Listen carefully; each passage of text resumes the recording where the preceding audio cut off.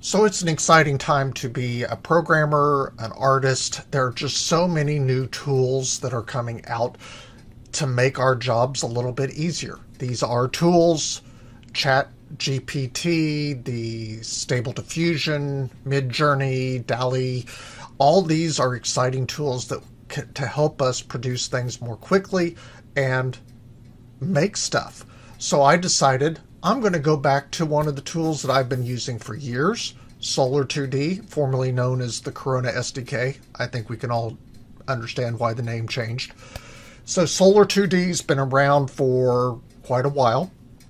I've written a number of textbooks on the, the using Solar 2D, so I thought, what can Chat GPT create from just a few simple commands for Solar 2D. So let's give that a try. Before we get started, make sure you like and subscribe to pay the class fee to eh, learn about this great product. And make sure you stick around to the end to learn about a great opportunity for you. If you haven't used Solar2D before, jump over to solar2d.com. It's a free download. It's open source, great tool to be able to use. Okay, I jumped over to chat OpenAI's system and asked it to create a Lua script for a simple game. Well, it told me how to program and make a game. So I tried again. Let's create a simple game using Solar 2D.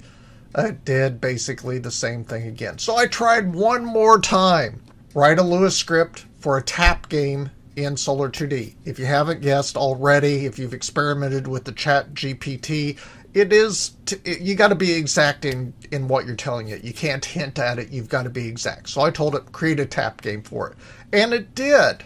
It created it, what it looks like is a basic game. So let's jump over to Solar 2D and see what that looks like. When you first get started with Solar 2D, if you haven't used it before, or Corona SDK for the long timers, you need to create the application. So it, it has a basic blank template for you to be able to use. We're going to call this one Chat GPT because that, that's exactly what we're doing.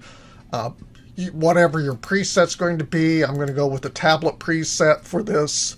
We'll do an upright. It's just creating a simple tap game and we'll create a blank. Click the OK button and you will get a folder. Looking at our code from Chat, P- Chat GPT, it is expecting to find a background asset. So I went ahead and created a basic background PNG file. Just any graphics program will work. Um, I did not put it in an assets folder. I got rid of the assets command. So let's take a look at the actual program itself. Jumping over here, I like to use the Visual Studio Code. Um, I use it for all of my different languages. I'm used to using that. So what ChatGPT gave us was a composer based game. To use a composer based game, we need two different files. We need our main.lua file with the commands local composer equals require composer, and then composer go to scene, and then whatever wherever we're placing our scene at. I placed it in a program or in a file called game. So I'm sending it to game. It automatically knows Solar 2D automatically knows to go to game.lua. So in game.lua, I copy and pasted my program in exactly. I'll scroll down a little bit. I did get rid of the asset forward slash background.png. My file is in the same folder as my main.lua and my game.lua. So there's no change to what's happening there. So there's my folder. I've got background.png. Um, I also went and created a tap button, but it this program didn't use it.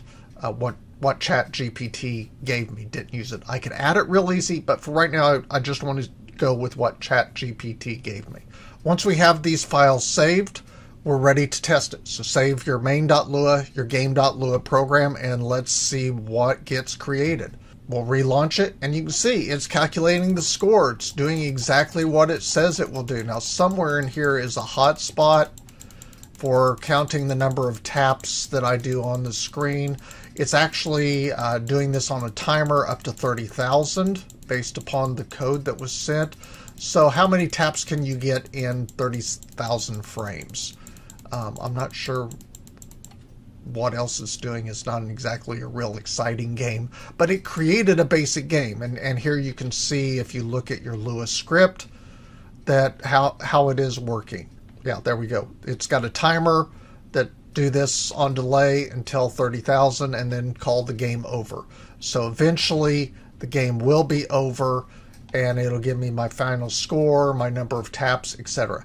This is something that could easily be modified. It's a basic Lua script, uh, uses the Solar 2D system. A very simple game. Did it with just a few chat commands to the chat GT, GPT. If this is something that you'd like me to show some more examples on, how to use the chat GPT or other AI systems to create mobile applications, make sure you like and subscribe and tell me in the comments below what you would like to see. Okay, I promised uh, a, a special thing at the end. For the remainder of this year, 2023, I am going to offer a special discount on my Corona books. Link is down below the the special coupon code is right there. Make sure you check it out. 25% off of my Corona books. So I've got two books, Learning Mobile Application and Game Development with Corona SDK. Yeah, I, I, know it's now Solar 2D. I haven't updated the name in the, the stuff yet. And Mobile App Development with Corona Getting Started. These are both books that have been out for a little while. I have continued to update them. You can get 25% off through the end of the year, so don't delay.